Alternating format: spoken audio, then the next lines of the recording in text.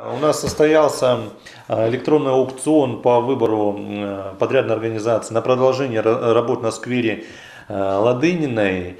Э, ну, было участников э, много, с одной стороны это хорошо, но с другой стороны было довольно серьезное падение, 15%. Для нас это серьезное падение, потому что я не сторонник того, чтобы э, сильно опускались на муниципальных контрактах. Как правило, это дополнительные проблемы с нашей стороны. И, как правило, это довольно часто влияет на качество выполненных работ. То есть нормальная цена падения это порядка 5%, не более. 9 миллионов рублей высвобождается в настоящий момент. Что-либо прогнозировать еще рано. Да, официальный протокол подписан, соответственно, у нас Капитал Строй, организация города Красноярска, правовая форма ООО. Но у нас есть 10 э, дней до момента заключения контракта. И пока контракт не будет подписан э, с двух сторон, говорить о работе пока рано, потому что у каждой из сторон есть законное право а, подать жалобу на те или иные действия или те или иные условия а, проведения аукциона контракта и их оспорить. Поэтому ждем срок 10 дней, это следующая неделя у нас будет, а, как будет контракт подписан. Тогда уже можно будет сказать точно, что Капиталстрой заходит к нам в город, начинает работать. У нас уже готовятся скорректированные графики согласно новому плану. Но мы все прекрасно понимаем, что согласно существующему снежного покрова это не раньше мая месяца, потому что там не низина, там будет сейчас делать нечего. Сроки довольно-таки сжатые, работы предстоит очень много, но в любом случае нужно работать, и к 1 сентября мы должны этот объект уже привести в соответствующий вид. А вы уже пытались узнавать, что это вообще за фирма, можно ли ей доверять, как она зарекомендовала себя вообще на прежних своих контрактах? Мы анализировали не только ее, мы анализировали и второго участника, смотрели контракты, какие они выполняли. Я вам скажу так, ничего хорошего этого фирма не сделала ни в Ачинске, ни в Красноярске, нигде. Отзывы плохие, работа делалась очень плохо, поэтому мы довольно-таки серьезно вот сейчас вот относимся к проверке документов и пока ничего не прогнозируем, потому что нам важно, чтобы юбилей вот этого мероприятия кинофорума прошел уже в новом сквере а здесь время уже играет против нас.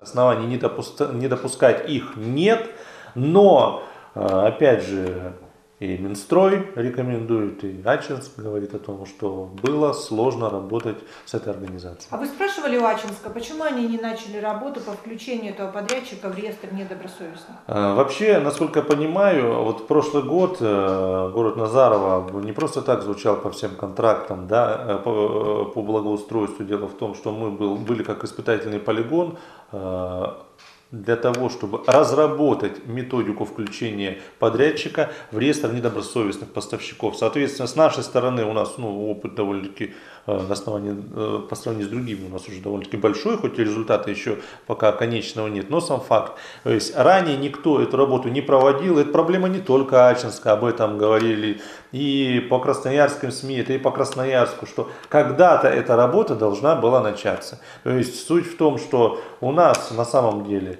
на сроки никто особо внимания не обращал ранее, пеню никто особо не платил. То есть каждый подрядчик должен понимать, что когда он заходит на муниципальный контракт, он должен исполнять именно то, что указано в муниципальном контракте, а не то, что хочет сделать он, согласно сроков, которые указаны в контракте. В противном случае ну, ребят, лучше не заходите. То есть, если они сейчас, например, э, ну, грубо говоря, выйдя на контракт вот сейчас, не исполняют своих вот э, какие-то условия, они теряют довольно серьезные деньги. У них есть и банковские гарантии, есть обеспечение заявки, есть обеспечение контракта. То есть это сделано для того, чтобы организация, когда заходила на такие виды работ, понимала, что она уже несет ответственность. То есть это не просто так. Порядка 600 тысяч рублей обеспечение контракта. Это серьезные деньги. Деньги заморожены до окончания реализации этого контракта. Если он будет реализован э, в нормальной форме, деньги вернутся.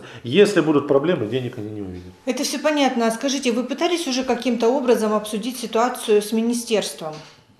44-й федеральный закон, это законы федеральные, мы на них в этом плане Никакого. Ну, по крайней мере, вы поставили их в известность, что Естественно. ситуация может сложиться вот подобным образом, то, что было Да, мы прорабатываем этот вопрос с министерством, и они это все прекрасно понимают. И вот, э, наверное, все прекрасно понимали, когда у нас было расторжение по контракту с ОТСК с Ладыниной, что это довольно-таки рискованный шаг, да, в том плане, Раз мы боялись, что не будет желающих, два неизвестно, кто победит. Ведь несмотря на то, что компания ТСК ну, в какой-то мере да, получилось так, что она зарекомендовала себя по некоторым данным ну, с нехорошей стороны, опять же, спорить можно долго, просто-напросто нужно было э, в какой-то момент за них не заступаться да, по осени 2020 года, а просто-напросто по столу довольно-таки серьезно щелкнуть и поставить их на место. Вопросов бы не было.